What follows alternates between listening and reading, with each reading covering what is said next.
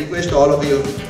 টেকসই উন্নয়ন লক্ষ্যমাত্রাকে সামনে রেখে জাতীয় সেমিনারের আয়োজন করেছে জগন্নাথ বিশ্ববিদ্যালয়ের জেনেটিক ইঞ্জিনিয়ারিং অ্যান্ড বায়োটেকনোলজি বিভাগ। রোববার বিশ্ববিদ্যালয় অডিটোরিয়ামে national seminar on biotechnology for sustainable development goals twenty twenty two শিরোনামের সেমিনারে দেশের স্বনামধন্য বিশ্ববিদ্যালয়ের শিক্ষক ও শিক্ষার্থীরা উপস্থিত ছিলেন। আমরা এই অবস্থায় থাকি যদি সেমিনারে বায়োটেকনোলজিকে ব্যবহার করে টেকসই উন্নয়ন লক্ষ্যমাত্রা অর্জনের নানা দিক সম্পর্কে আলোচনা করা হয়। অংশগ্রহণকারী শিক্ষকরা জানান জেনোমিক্স ভিত্তিক গবেষণাকে কাজে লাগাতে প্রয়োজন পৃষ্ঠপোষকতার। বায়োটেকনোলজিকে সাস্টেনেবল ডেভেলপমেন্ট গোলের যেই গোলগুলো আছে, সেখানে ইনকর্পোরেট করার জন্য বায়োটেকনোলজি পলিসি এবং বায়োটেকনোলজিকে পৃষ্ঠপোষকতা করা খুবই জরুরি। এই মুহূর্তে আসলে বায়োটেকনোলজির যে কি প্রাসঙ্গিকতা সারা পৃথিবীতে আমরা দেখতে পাচ্ছি যে ক্লাইমেট চেঞ্জ হচ্ছে এই যে কোভিড নাইন্টিন চলে গেল এই ভ্যাকসিন ডেভেলপমেন্ট সব কিছুতে আসলে বায়োটেকনোলজি খুবই গুরুত্বপূর্ণ ভূমিকা পালন করছে। অ্যাকচুয়ালি এগুলোর প্রোডাক্ট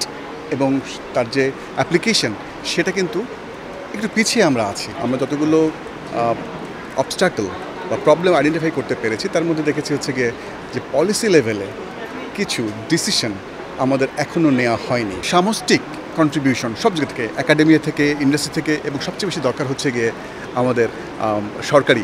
শিক্ষার্থীরা বলছেন জেনেটিক ইঞ্জিনিয়ারিং অ্যান্ড বায়োটেকনোলজি বিভাগের কার্যক্রম সম্পর্কে আনতে হবে জনসচেতনতা।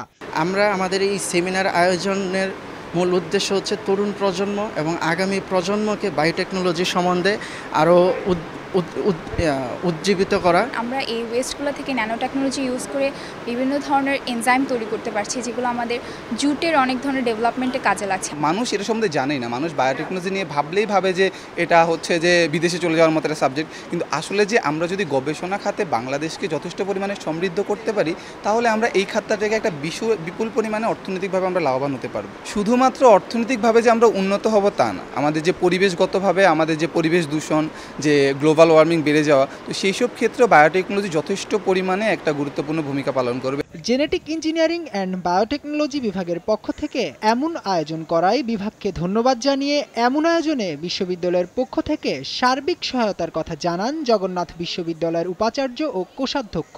একটা কনফারেন্সের কিন্তু শেষ পর্যন্ত কিছু রিকমেন্ডেশন থাকে যে এই এই বিষয়গুলো হলে দেশের আমরা যেটা বলছি যে সাস্টেনেবল ডেভেলপমেন্ট গোলস অর্জনে আমরা রিকমেন্ডেশন কি?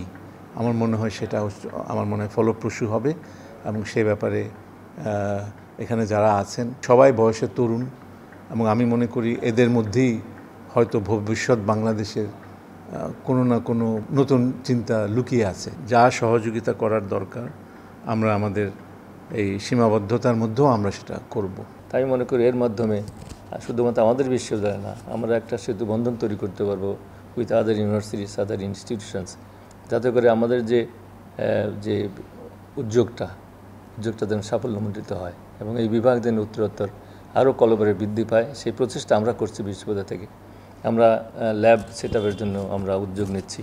টেকসই উন্নয়ন লক্ষ্যমাত্রাকে সামনে রেখে সেমিনার ছাড়াও বিভিন্ন ইভেন্ট, ওয়ার্কশপ, রচনা ও পোস্টার প্রতিযোগিতার আয়োজন করা হয়। আয়োজনে দেশের বিশটি বিশ্ববিদ্যালয় ও দুটি গবেষণা সংস্থা থেকে প্রায় তিনশো জন গবেষক, শিক্ষক ও শিক্ষার্থীরা অংশগ্রহণ করেন।